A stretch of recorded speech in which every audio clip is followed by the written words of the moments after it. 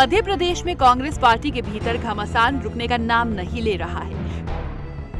कुछ दिन पहले जहाँ प्रदेश अध्यक्ष पद को लेकर खेमेबाजी सामने आई थी, वहीं एक बार फिर पार्टी में मतभेद सामने आ रहा है। पार्टी के युवा नेता ज्योतिरादित्य सिंधिया ने माना है कि पार्टी में मतभेद है और मुख्यमंत्री कमलनाथ को इसे दूर करना चाहिए। मुख्यमंत्री इस विषय पर दोनों पक्षों की बात सुननी चाहिए इसका समाधान निकालना चाहिए। बहुत मुश्किल से और बहुत मेहनत से। हम लोगों ने पंद्रह साल कड़ी मेहनत करके आज मध्य प्रदेश में कांग्रेस की शासन स्थापित हमको छह महीने भी नहीं हुए। और जिस आशा और अभिलाषा के साथ हम सब लोग चाहे मैं हूँ दूसरे कार्यकर्ता हैं, सभी ने मेहनत की उस आशा और अभिलाषा के साथ कि हम एक नया मध्य प्रदेश स्थापित करेंगे जहाँ विकास होगा, प्रगति होगा, वही आशा के अनुरूप सरकार को कार्य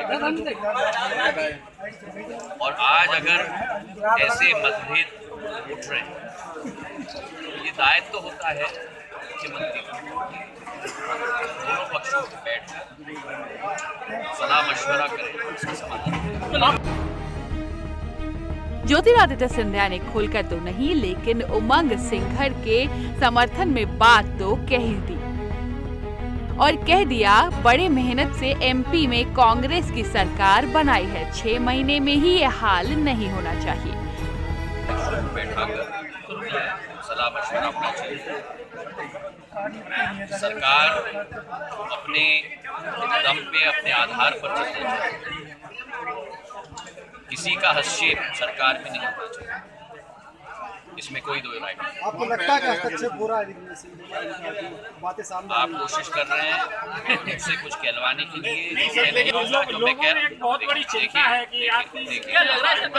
है हो रही है मैं सीधा सीधा कह रहा हूँ कि सरकार को स्वतंत्र होकर कार्य करना चाहिए और जो मुद्दे आए हैं मुख्यमंत्री को उमंग जी की भी बात सुननी चाहिए।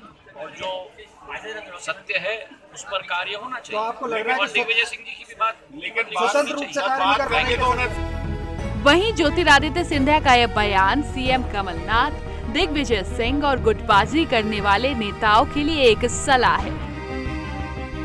आपस में मत लड़िए अब बिखरे तो सब खत्म। News desk.